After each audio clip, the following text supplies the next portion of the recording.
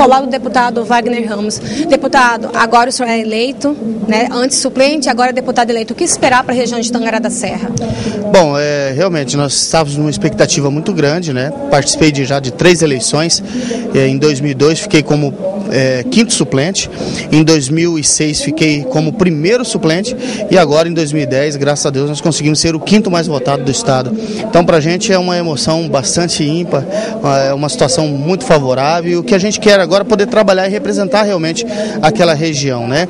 É, nós sabemos das grandes dificuldades que no, nós vamos enfrentar a partir de agora, principalmente com relação às rodovias nossas lá que estão em péssimas condições. Nós precisamos fazer um trabalho urgentemente para recuperar todo o trecho trecho é, de Jangada até Campo Novo do Parecis, de Campo Novo a Juína. Então, quer dizer, nós precisamos fazer um trabalho em conjunto para que isso possa ser resolvido nesse próximo mandato. Então, nós somos dotados de desafios e eu tenho a plena certeza que a gente vai conseguir lutar muito agora como titular para reivindicar com mais clareza os nossos objetivos para a região e para o estado de Mato Grosso. Agora, deputado, o senhor que é do PR, como o senhor vê o PR nessa nova, nessa nova eleição? Como o senhor analisa a situação do PR?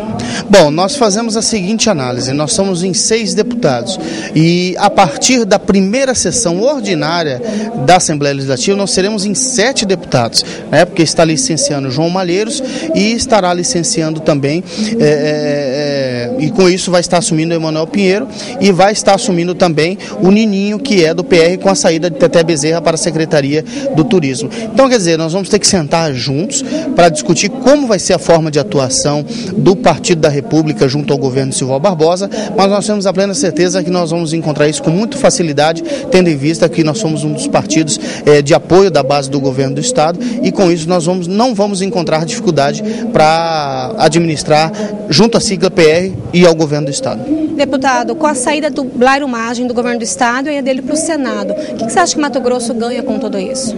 Bom, nós acreditamos que pela experiência que o governador Blairo Magem adquiriu com dois mandatos de governo, é, no Senado, eu, eu, tenho a plena certeza que ele vai encontrar muito mais facilidade. Até porque é, ele, é, vindo do Executivo, praticamente necessitou do, do Legislativo durante é, oito anos aqui.